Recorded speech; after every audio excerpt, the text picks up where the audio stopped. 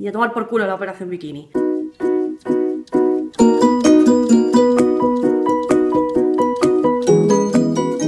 Hoy, mientras esperaba en el médico, las chicas de la recepción estaban charlando, no eran jóvenes, vamos a ser sinceros, pero tampoco eran unas señoras mayores, típicas de 40 años más o menos. Me pareció curioso esto que no había nada más que hacer, no quería gastar todos los datos, así que puse la oreja en la conversación y estaban comentando el tema de la operación bikini, la temida operación bikini que empieza siempre meses antes del verano.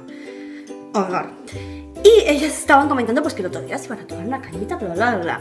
Y eh, una de ellas decía, pues sabes lo que te digo, que yo estoy haciendo la operación bañador. Me quito el bikini para ponerme el bañador. Y y no me privo de nada.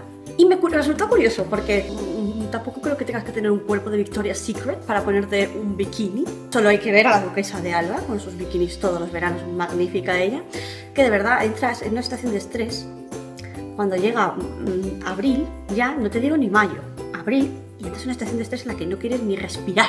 No vaya a ser que te hinches. Me resultó también curioso que la conversación seguía, obviamente, y a modo de como una manera de justificar el hecho de que ellas no se cuidasen, a modo de mi conciencia está como más tranquila. Decían que este año se llevaba el poco sano. también lo oí el otro día en la televisión y me pareció ridículo.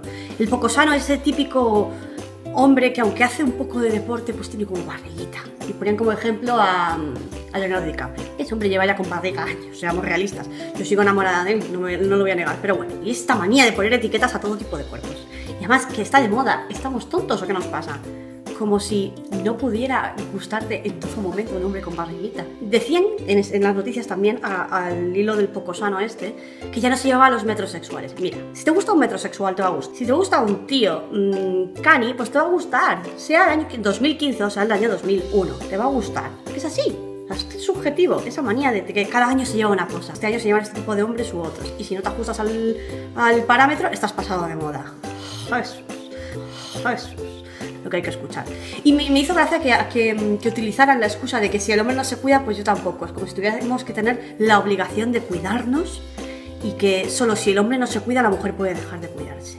What the fuck? Hay que cuidarse es para una misma. Yo no me maquillo porque a la gente le gusta que me vea maquillada. De hecho, muchas veces he subido vídeos en los que no me maquillo. maquillo si me apetece, estoy de humor y para mí misma porque me gusta verme con los labios rojos. Fin de la discusión. Me, ha parecido muy loable el hecho que dijeran a tomar por saco la operación bikini y yo operación bañador y cuerpazo pero que tuvieran la necesidad de, justificar el hecho de que no, no se estén privando de comer. Si te apetece comerte un bollo, cómetelo.